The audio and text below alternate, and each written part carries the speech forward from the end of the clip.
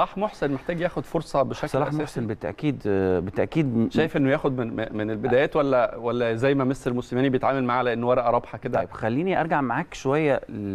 ل... لفترة ما قبل ده آه، وليد صلاح الدين كان. م. واحد من أهم اللاعبين في في النادي الأهلي مظبوط آه، وليد كان بيشارك في ربع ساعة تلت ساعة نص ولما ساعة الجمهور ينده وكان من أهم آه. وكان من يعني الفترة دي أيوة. أنا أنا ع- عاصرتها في النادي كان من أهم اللاعبين اللي بيعتمد عليهم أي مدير فني يبقى موجود.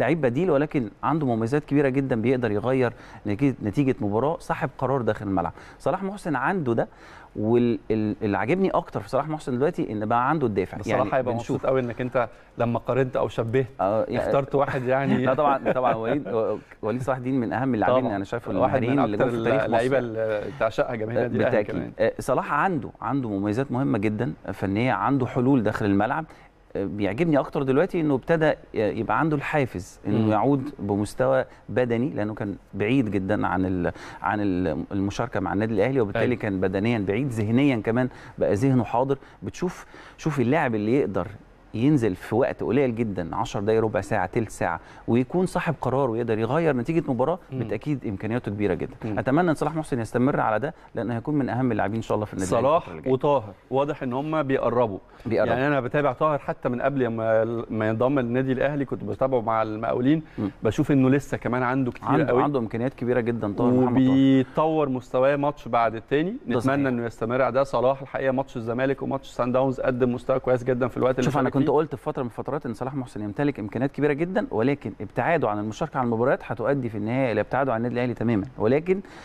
عودته مرة تانية وده تصحيح لما قلته قبل كده إنه آه، قدر إنه يعود مرة تانية بنفسه داخل الملعب ويثبت وجوده. من خلال آه، مشاركته في التمرينات من خلال مشاركته في المباريات آه، يعني عنده الحافز المهم جدا إنه يشارك مع النادي الأهلي الفترة اللي جاية وبالتأكيد يعني إن شاء الله هيكون اعتماد كبير جدا عليه الفترة اللي جاية طيب